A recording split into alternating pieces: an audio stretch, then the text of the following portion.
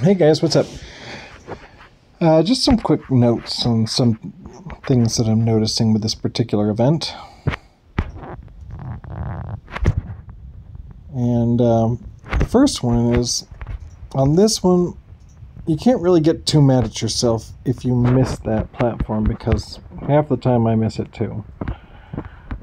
It sucks when you do because it's like, I did everything right. How did I miss it? Well, sometimes it just happens. And it's nothing you can do anything about. Uh, next, on this one, um, I'm, I'm usually able to get it with at least 15 cans at this point. I pull a little short there. You'll you'll see me tip my nose down just briefly, just long enough to get the fuel. Gosh, I got 11k last time. But this is the one I was really thinking about. Because the worst part about this one is that all of the little doodads are all moving back and forth, and it's impossible to guarantee they'll be in the position you want. Right?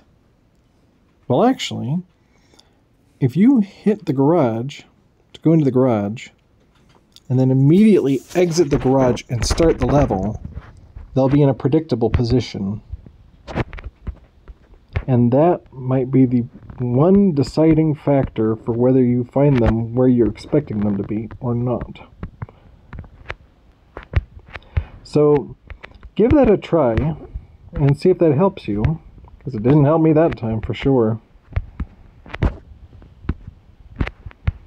And, um, like, sometimes we'll get races like this where the doodads are moving and you have to time it just right. Like, you'll go into the garage and then you'll open the level and you'll count off one second, two second, three seconds, and then you'll enter the level, and the doodads will be in the right positions for you to get a good good time.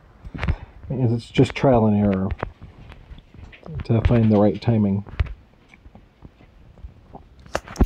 Um, and then a note on the tractor. the as far as I can tell, the turbo on the tractor behaves the same way as it does on the truck, which means if you're holding down the go button, it charges up. And if you press the brake, it will release that charge and you'll have to start over. But if you tap the accelerator instead, you can release the accelerator briefly and it keeps storing up that energy. It doesn't reset it quickly on the truck or the tractor. And so what you want to do is find a path that allows you to get the the thing t- to hit at the right times and you want to just keep hitting the go button you you don't want to hit the brake if you can avoid it now that wasn't a very good showing from me on that particular go through but hopefully you can learn something from my notes and my ramblings. Have a good night guys